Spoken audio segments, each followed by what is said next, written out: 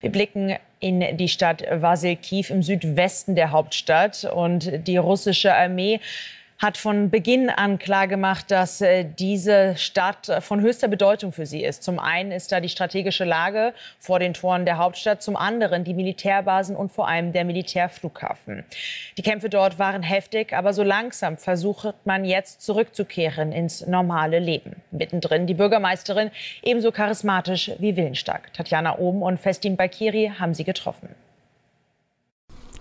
Traditionelle Ostergeschenke, eine Umarmung, viel Lob, Lob, dass Natalia Balasinovic die Tränen in die Augen treibt. Die 37-Jährige ist die Bürgermeisterin von Vasilkiv, südwestlich von Kiew gelegen, und die Menschen hier schätzen und bewundern sie. Der Militärflughafen der Stadt hat diese zu einem begehrten Ziel in Putins Krieg gegen die Ukraine gemacht. Putin und Russland hatten den Plan, die Kontrolle über unseren Flughafen zu gewinnen. Ja, sie haben den uh, Flughafen zerstört, aber sie haben ihren Plan, die Stadt zu kontrollieren, nicht umsetzen können. Uh, den Flughafen dürfen wir aus Sicherheitsgründen nicht drehen. Die Kämpfe waren massiv, die Eroberung konnte abgewendet werden, doch der Raketenbeschuss geht weiter.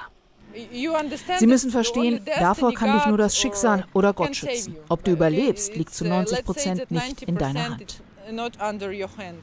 Größer als die Angst vor Raketen aber ist der Wunsch nach Alltag. Geschäfte öffnen langsam wieder. Die Bürgermeisterin erzählt, dass sie die Menschen bei Kriegsausbruch gebeten hat, nicht zu gehen und die Mehrheit ist dieser Aufforderung gefolgt. Die Normalisierung jetzt sieht sie mit verhaltener Freude. Es ist noch nicht normales Leben, aber ich bin sogar glücklich über die Staus auf der Straße. Glücklich, wie das Leben Tag für Tag in die Stadt zurückkehrt.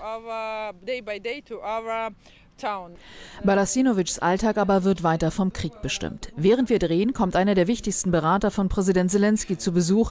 Andrei Liahovic ist verantwortlich für die freiwilligen Verbände und ihre Zusammenarbeit mit Armee und Territorialverteidigung.